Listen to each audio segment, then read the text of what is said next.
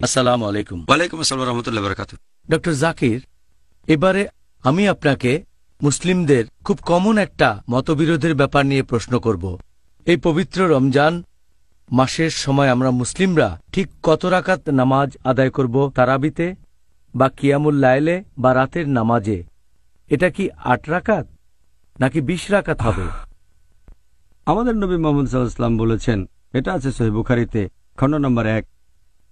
Book of সালা হাদিস নম্বর চারশো বাহাত্তর, তিনি বলেছেন যে, এক লোক জিজ্ঞেস করল যে কিয়ামুল্লাইল কীভাবে পড়তে হবে? নবী বললেন, তোমার কিয়ামুল্লাইল পড়া উচিত দুই রাকাত করে, তারপরে দুই রাকাত, তারপর দুই রাকাত, আবারও দুই রাকাত, এভাবে চলতেই থাকবে।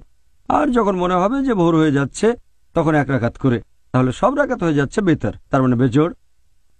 আপনি যত খুশি পড়তে পারেন, শেষের দিকে পড়বেন এক রাকাত করে, তার মানে বেজোড়, তখন সবগুলো বেজোড় রাকাত। তাহলে নামাজের রাকাতের সংখ্যা নিয়ে যদি বলতে হয়, আপনি যত রাকাত খুশি পড়তে পারেন। তবে নবী মোহাম্মদ সাল্লাহ সাল্লামের নামাজ পড়া নিয়ে যদি বলতে হয়, এটার উল্লেখ আছে বুখারিতে, খণ্ড নম্বর দুই, বুক অব তাহাজুদ হাদিস নাম্বার এক হাজার একশো সাতচল্লিশ। হজরত আয়সারদ আনহা, তিনি বলেছেন যে, নবী যখন রমজান মাসে কিয়ামুল্লাইল আদায় করতেন সবসময় এগারো রাকাত করে তিনি নামাজ পড়তেন। এগারো রাকাতের বেশি না। আর তিনি এটা অন্যান্য মাসেও করতেন। তার মানে আট রাকাত হচ্ছে কিয়ামুল্লাইল তারপর তিন রাকাত হচ্ছে বেতর। এভাবে আট যোগ তিন সমান এগারো রাকাত। এছাড়াও আরও অনেক হাদিস এরকম কথা বলছে, আমরা যেসব হাদিস দেখতে পাই।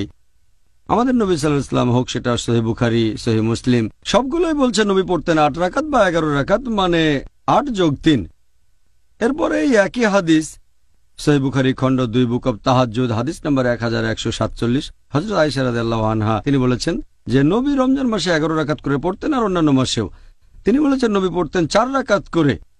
আমি এই রাকাতগুলোর দৈর্ঘ্য আর সৌন্দর্যের বর্ণনা দিতে পারব না।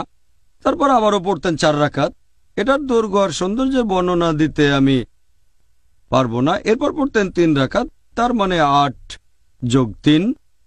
তবে যদি দেখেন বিভিন্ন প্র্যাকটিস সালফি সালেনের পরবর্তী প্রজন্ম, তার মানে সাহাবিগণ তাবাইন তবে তাবাইন রেকর্ড ঘাটলে দেখতে পাবেন তারা পড়তেন এগারো রাকাত, কেউ তেরো রাকাত, কেউ উনিশ রাকাত, কেউ তেইশ রাকাত, কেউ ছত্রিশ রাকাত, কেউ আবার উনচল্লিশ রাকাত পড়তেন।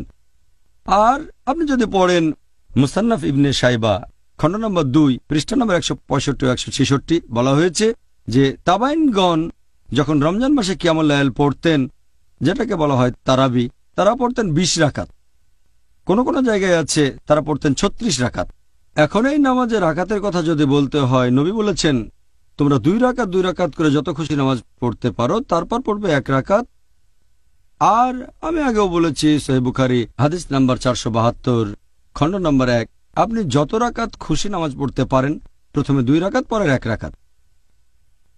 তবে আপনি যদি নবীর সুন্নত মেনে চলতে চান, নবী সবসময় পড়তেন আট রাকাত যোগ তিন। তাহলে কত রাকাতের অনুমতি আছে? আপনি যত খুশি পড়তে পারেন, আট, দশ, বিশ, ছত্রিশ, সমস্যা নেই, তারপরে পড়বেন তিন রাকাত ভেতর। আর আমাদের নবী পড়তেন আট যোগ তিন, এগারো। তবে আপনি যত রাকাত খুশি নামাজ পড়তে পারেন। হ্যাঁ আপনি আমাদের বলেছেন যে কিয়ামুল লায়েলে আমরা মুসলিমরা যত রাকাত ইচ্ছা নামাজ আদায় করতে পারি তবে নবীর সুন্নত আট রাকাত।